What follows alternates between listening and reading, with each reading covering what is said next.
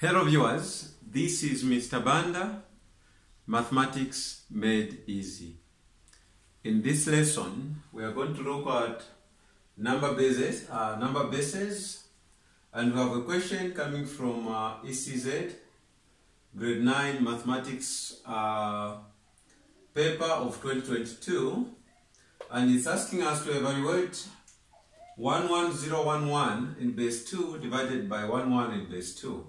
So this is a division in base 2. How do we divide numbers in base 2? So we have to put into consideration two important uh, concepts when we are dividing numbers in base 2. One is that when we are when we are dividing numbers in base 2, we expect to get two digits. These are 0 and a 1 because base 2 contains only two digits, 0 and 1. So we get a 0 when a number is not divisible. Okay?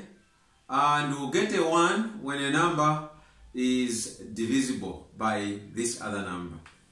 So when we are, the second concept is when we are borrowing, in base 2 borrowing, we borrow in twos. Okay? We don't borrow in tens like we do when we're in base 10, but in base 2 we borrow in twos, as shown in this particular uh, example. Now, let us do the working for this question. So, we use the normal, the usual long division, where our divisor is 11, which is 1, 1 in base 2, and our dividend is 1, 1, 0, 1, 1 in base 2. So we start dividing. What is 1 divided by 1, 1? Uh, it can't, that we know. It will give us uh, uh, a remainder 0 point something. So we divide now 1, 1 by 1, 1. So what is 1, 1 divided by 1, 1? The answer will be 1. Then we multiply 1 by 1, 1. We'll get 1, 1.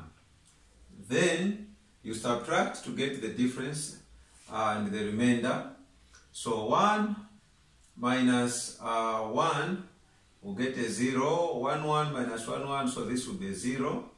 Then 1, 1 into 0, it can't, so we have to bring down a 0. 1, 1 into 0, it can't, so we add a 0 and bring down a, a, a 1. 1, 1 into 1, it can't, so we add a 0 and bring down uh, a 1. Then we'll have 1, 1 into 1, 1. This will give us 1. Then 1 times 1, 1, it will give us 1, 1. Then we get the difference, it will give us 0. So you can see that when you divide 1, 1, 0, 1, 1 by 1, 1, we get, so therefore, we have 1, 1, 0, 1, 1 base 2 divided by 1, 1 in base 2. This will give us 1, 0, 0, 1 in base 2. So it is simple and straightforward as such. That's what we have to do there. I hope you enjoyed the lesson. God bless you all.